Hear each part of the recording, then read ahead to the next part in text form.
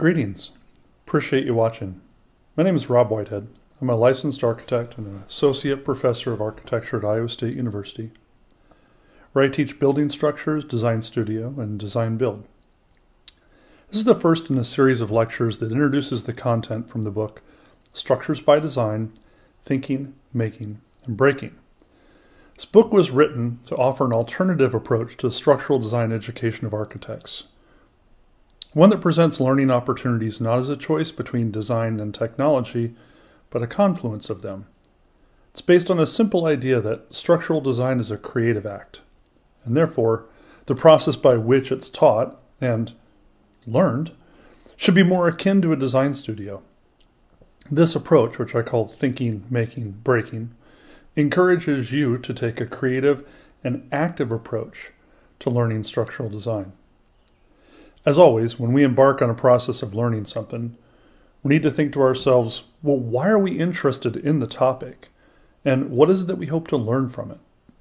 And so I start with this particular quote about structure the idea that structure has this primary, form defining, volumetric, and expressive role to play in architecture. In other words, if you're interested in things like form, volume, and expression of architecture, which frankly every architect should be, then structures and embracing the idea of structural content should be a big part of what we choose to do. Thinking through these two particular quotes from Eladio Dieste and, Ove Arup, two great engineers talking about the role of form and design in building structures. And when I read these quotes, I think to myself, Starting with structures is what's so important here. We have to start with our aspirations of what the structures could be or should be. And then, if we want structures to be a certain way, look a certain way, to integrate with architecture in a particular manner, we need to figure out how architecture and structures are, in fact, linked. Dieste suggests that this is through resistance through form. Arup suggests that it's through a synthesis of all these different elements that work together in his case, what he calls total design.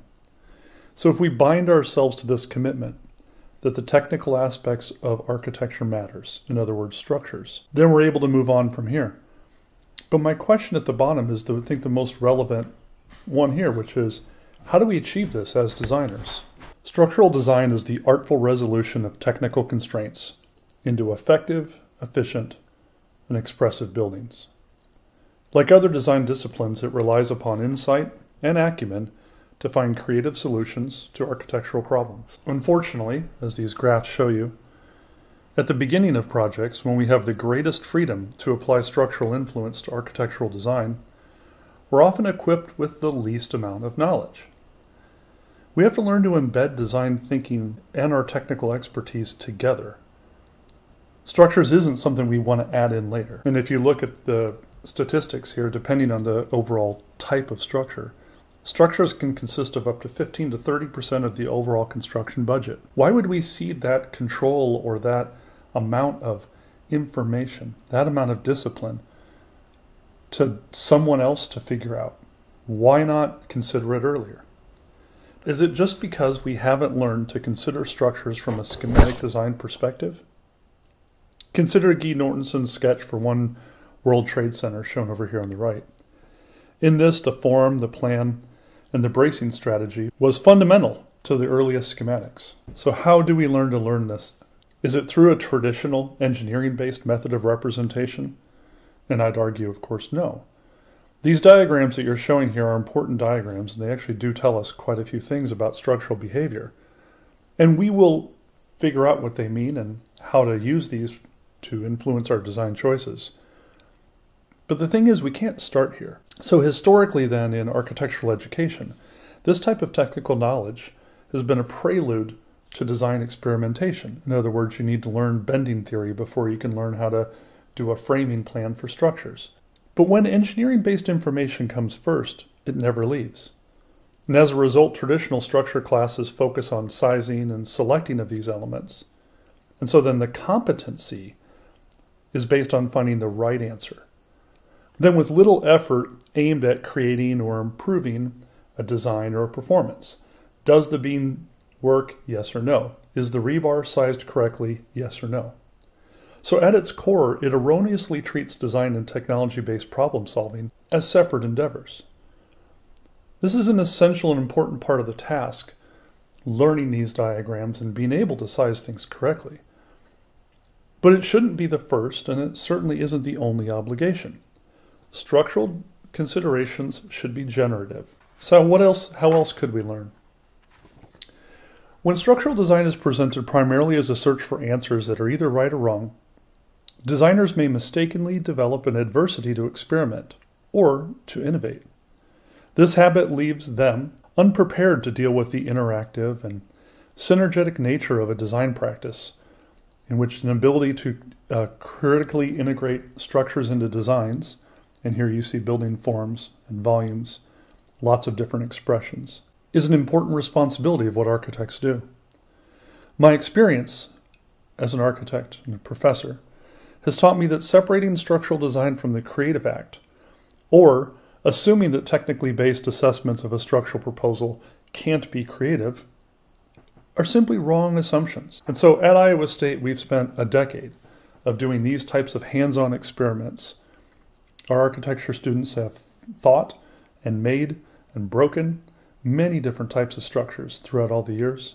We learn through lectures and then immediately go and do hands on learning labs through the series of lectures that I'm going to present to you, I'll take breaks every once in a while and be able to show you options of labs that you can do, other hands on experiments. So, those images show kind of the fun times and ways that we can learn to have a good time when we're learning about structures, but it's also serious business. We can't just start building anything you want and say, oh, it's a structure, it'll hold up. There's a discipline to it as a building science, and we have to respect the discipline. So, how do we learn that discipline? And so, the reason I titled the book Thinking, Making, and Breaking was a way to get you to start thinking about it as a process, not about a product, not about sizing a rebar, but a process of decision making. So, in this diagram, you can see that our options narrow as we move from left to right. We start off with the broadest possible schematic choices, and then we start to narrow these things down. We choose what type of structure. We try to figure out how to make it. What's the best way to make or assemble these things? In breaking, this is about assessment.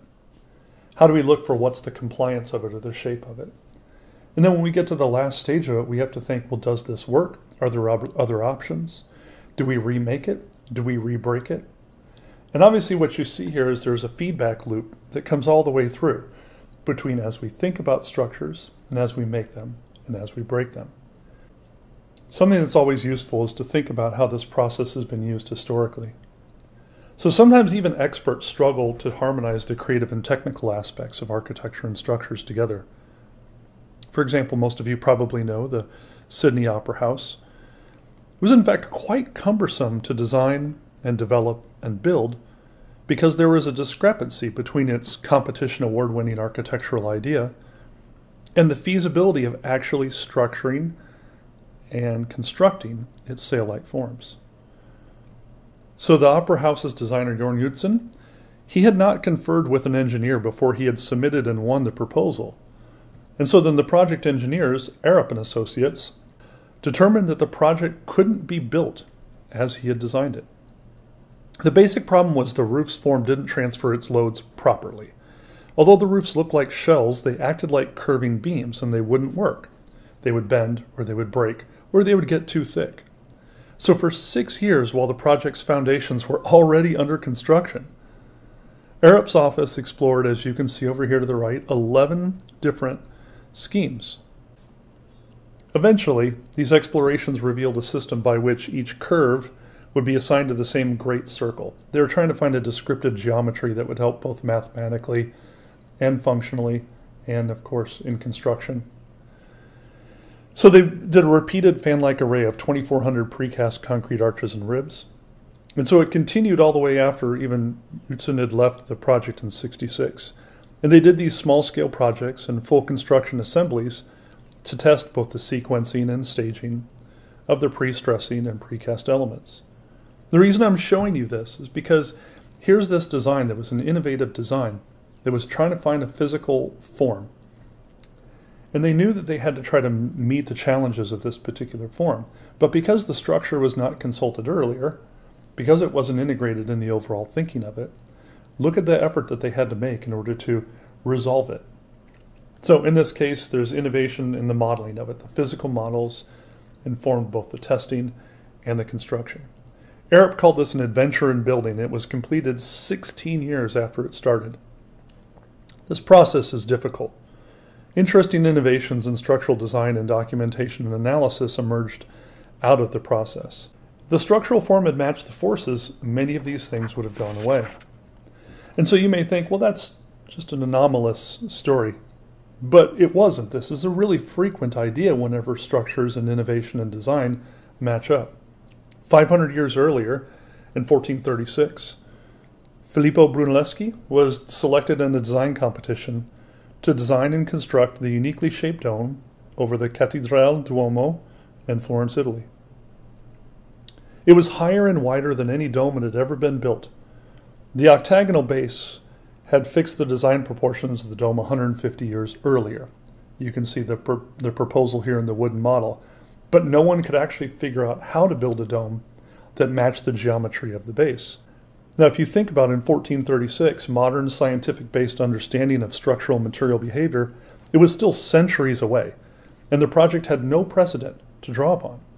Brunelleschi proposed an ingenious double shell it allowed the outer shell to meet the geometric design standards, but then an inner shell that was formed that could better align with the more apt structural form.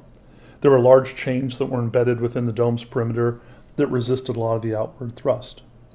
No one had ever constructed a dome like this without a supporting timber frame below. This dome's height made it so scaffolding was in fact impossible. So Brunelleschi had to invent not just new ways of structuring this, but new, new ways of constructing it as it rose. He studied and tested and documented construction problems using drawing, physical models, and prototypes, just as Arup did a half a millennia later. The solution worked admirably. Still the largest masonry dome in the world. We can learn from Arup and Brunelleschi by looking at how they developed their work, particularly this integration between structural technology and architecture. Their problems were so vexing that they used every means available to them, from analog to, at least in Arup's case, algorithms. They created multiple representations, or models, of their project to test their decision's validity. They learn from testing to improve, to innovate, and then to refine their work. The takeaway from this is how they solved the problems and what they revealed through their efforts is exemplary. And so then the core concepts of the book, and in fact this chapter, are what follows. One, matching architectural forms to materials based on structural principles makes everything easier. Certainly, this is one of the takeaways from Sydney Opera House. Because design requires earnest, industrious, and creative efforts, and of course a diverse set of tools to do it, we have to make. Learning what models to make and how to make is, of course, the next important decision. Making mistakes is part of a healthy design process. Engineering, in a way, is about repeated failure. Ideas are improved through testing. So if you learn to embrace the productive role of failures when breaking your work, more will be revealed when you do that. And of course, as we've learned through design, you have to repeat as necessary. Breaking helps you rethink, and rethinking helps you remake. So the first lesson then about why think. Structural ideas must be purposeful. Development of forms without intent is aimless.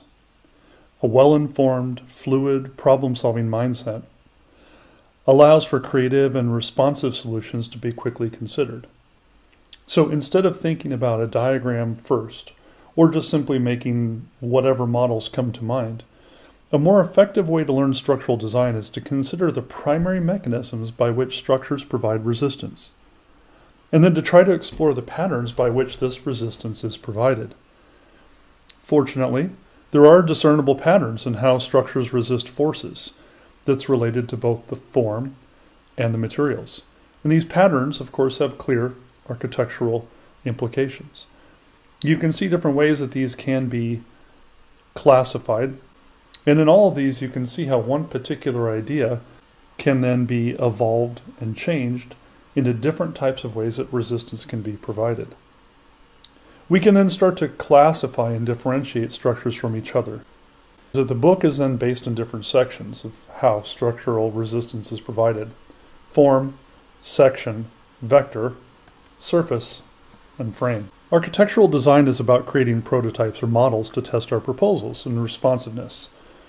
Because architects don't make buildings, mostly, we make abstracted or simplified representations of buildings. We need to be vigilant about our tools and what simulations they produce.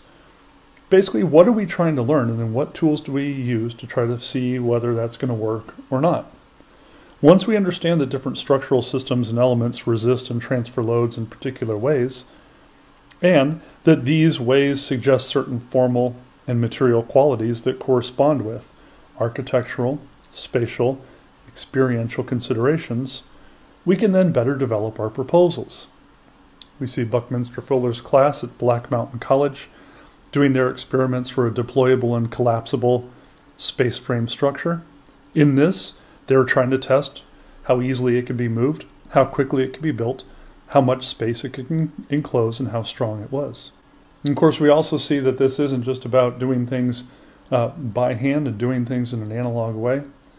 Our structural design process involves embracing new technologies, digital design, computation, algorithms, and in doing so, it's still making, of course. We're still seeing what new means of construction we can do. Tools can become obsolete, particularly if the feedback loops are prolonged or if the methods of their use are cumbersome, or in fact, if they're fraught with potential inaccuracy. Always use the right tool for the right job. What we find when we look at structures and structural design is that there's not one tool, there's not one model, there's not one way to then design, develop, and test building structures. In fact, it takes quite a few different tools that work simultaneously. We see here in Torroja's process here for the uh, Club Táchira in 55 that he used a process that went from sketching to elevations, to then sketching on top of the elevations and plan, to then a physical model of the shell. Then the physical model of the shell was also translated into a series of painstaking calculations in that he's looking for different variations of how much the shell might deflect at particular points.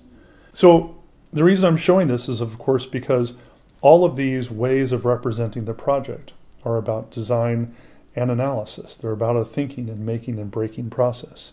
So when you think about the tools that you use, I want you to consider that they have to be a broad range of tools. What you want to do is try to select a tool that is good with the simulation or the model that you're trying to create. And try to create this feedback loop between what's a sketch be able to show us, what can an elevation show us, what does a physical model show us. Then we're able to make significant progress. These things that we make then are called models.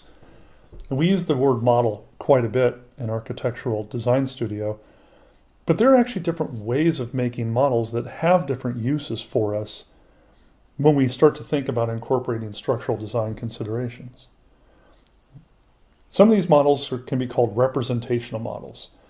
Representational models are not meant for structural testing, and this is a lot of what we'll see in an architectural design studio. We see Eero Saarinen's office working on the TWA model in 57. Now, there were, in fact, structural implications of the shape of the shell that he was working on, but at the same time, this was just meant to represent the overall amount of space. There are other models that be able to show the building form, but are better linked to the structural performance. These are called generative models. A generative model ideally can show the ideal geometry.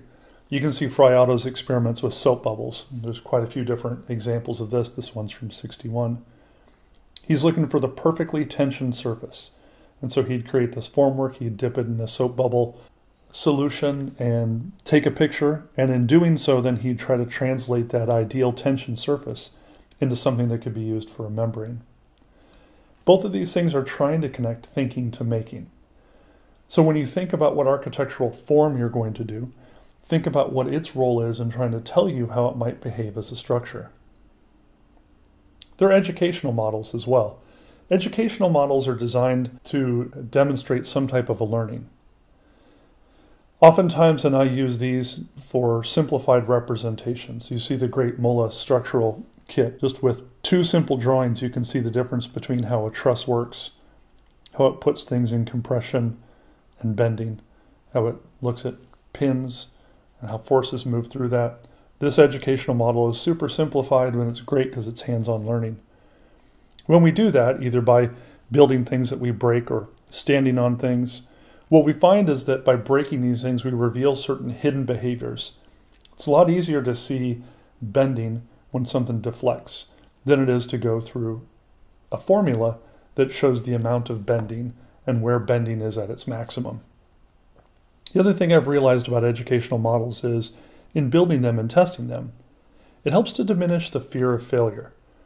We can confirm the certain principles that we think. In other words, you see the shell designs down below.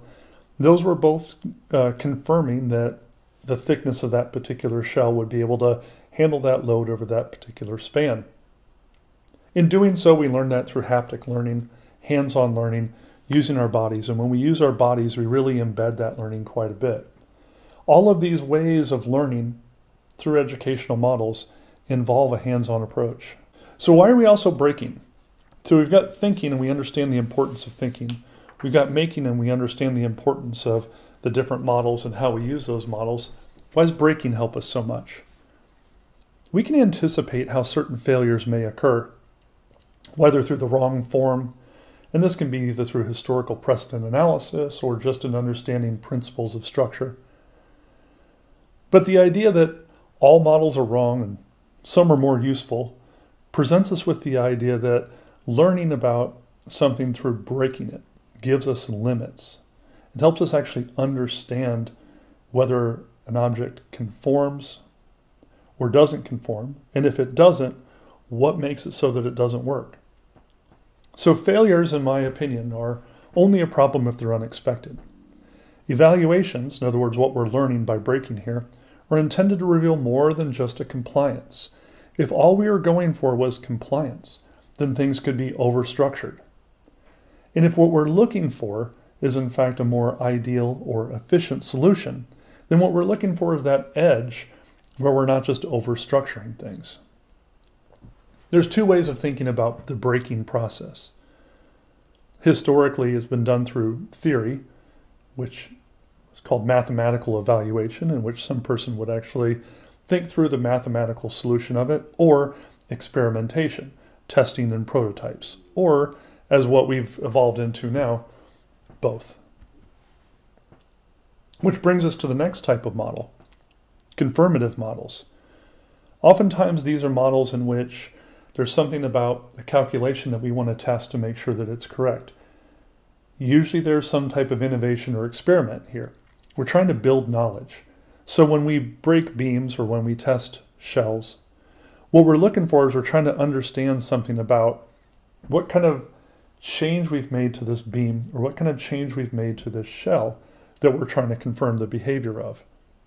So you make a hypothesis, of course, then you test these things and you generate and you collect the data. You're trying to confirm then what the calculations anticipated would happen here. And sometimes, especially with Torroja's uh, shell over here, you're trying to understand theoretical behavior. There are some types of structures that are indeterminate that we mostly would have to guess at through calculation.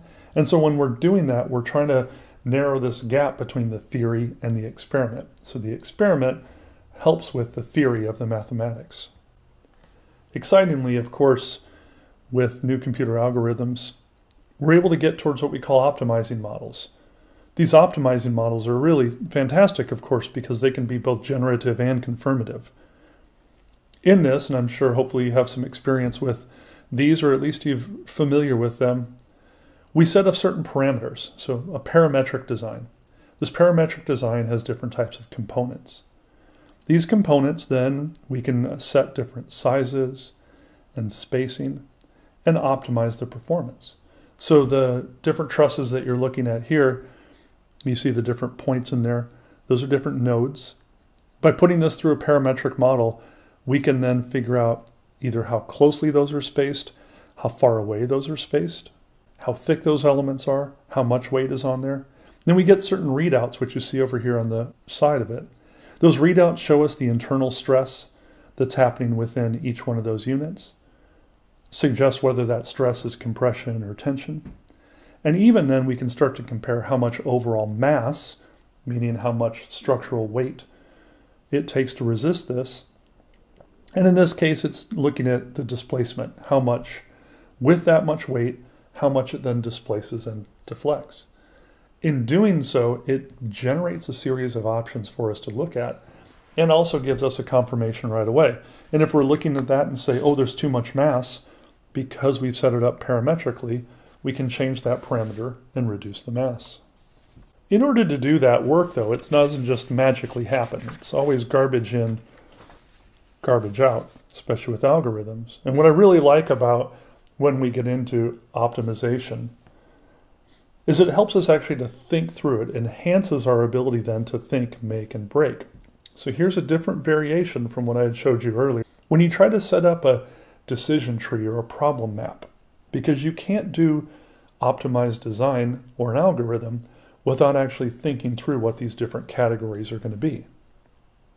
So, one of the goals of this book is to help designers explore ways to design with a rigor quantitative data and physical form and materiality without diminishing or ignoring the qualitative factors. The ultimate goal is to be able to think critically about the topics using a diversity of tools in a feedback loop. So, the thinking and the making and the breaking is part of this feedback loop. And if we want to then do an optimized tool, here you can see that you have certain design options or realms. From those design options, in this case, I'm starting the far left and say, well, why trusses? Now that's a big decision in and of itself. Why trusses? And then from that, there's different categories of trusses. You could select one of those types of trusses. Figure out then how you can integrate architectural and structural principles into it. Decide what types of tools for design and development and testing you want to use.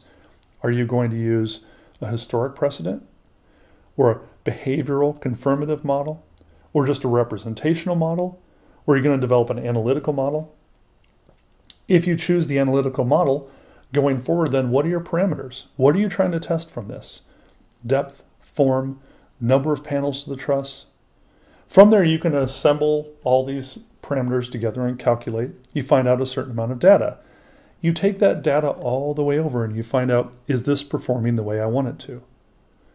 And if it doesn't, and it probably won't, by the way, then you have to not just think, make, and break, but you have to repeat. You take that performance data and you either load that back in and say, is trusses the right choice? And you start the whole loop over and over again. Certain software tools or even ways of drawing this are ways of shortening this feedback loop. In doing so, you can manage multiple parameters as we've been talking about, provide some sort of analytical data. And so when we're able to take visual and computational work together, we can start to easily see what the implications are for structural form and stress. Gina Ripple's Karamba simulations here show us that by changing the geometry, we're able to locate where we see either the largest amounts of stress in these different things, what type of stress is in that, and then what it might take either to make those elements thicker or bigger, or how we might change the geometry to reduce the amount of stress in those particular locations. And of course, over here, nearly a, a century before, with Wolf's drawings of graphic statics. Graphic statics is another way of looking at the internal forces within, in this case, trusses. In that, the graphic statics are able to uh, resolve through the geometry how much stress is in each particular element. This then can be generative because the actual geometry of the form is related to how much stress is within each piece. So at the end of this, I just simply want you to consider this idea. Process of designing structure should be aspirational and creative. Well-designed structures should give an integrity to these architectural forms. Ideally, we're improving building performance, doing more than just standing. Strengthening the experiences, the unique qualities that architecture can bring, and amplifying the beauty of order. Architectural qualities improve because of these structural encumbrances, not in spite of them. Again, thanks for your time. You want more information? I always have more information. Keep your eye out for this channel for additional lectures. Appreciate it.